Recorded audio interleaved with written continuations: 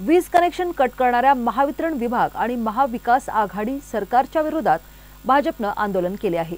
वीज बिलांची होळी करत यावेळी सदाभाऊ खोत आणि आमदार गोपीचंद पडळकर यांच्या नेतृत्वाखाली हे आंदोलन करण्यात आले. यावेळी गोपीचंद पडळकर यांच्या शेतात शिवजयंती साजरी केली आहे. एकीकडे भाजीच्या देटालाही हात लागता कामा नये असं म्हणणारे छत्रपती शिवाजीराजे तर दुसऱ्या बाजूला शेतकऱ्यांची उभी पिकं जाळणारं हे महाविकास आघाडीचं सरकार. विजेची जी बिले आहेत तो जिजा कर आहे. मोगल परवडले पण हे नको म्हणण्याची वेळ या महाराष्ट्रातील शेतकऱ्यांवर आली आहे. शिवशाहीचं सरकार म्हणून स्वतःचा टेंबा मिरवणारे लोकसुद्धा आज शेतकऱ्यांची विजेची कनेक्शन तोडायला पोलीस संरक्षण देऊन शेतकऱ्यांची उभी पिकं जाळत आहेत. महाराष्ट्रातील जनता याचा विरोध करेल असा आरोप यावेळी सदाभाऊ खोत यांनी केला आहे.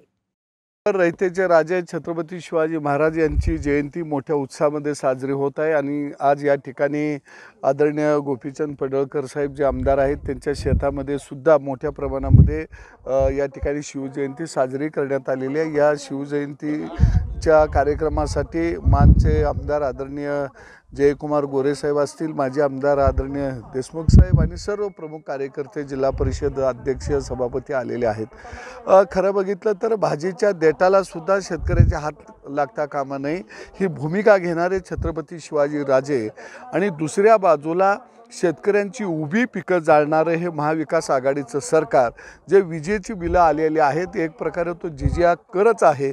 मोंगल परवडले पण हे नको अशी म्हणण्याची वेळ आज महाराष्ट्रातल्या शेतकऱ्यावरती आलेली आहे.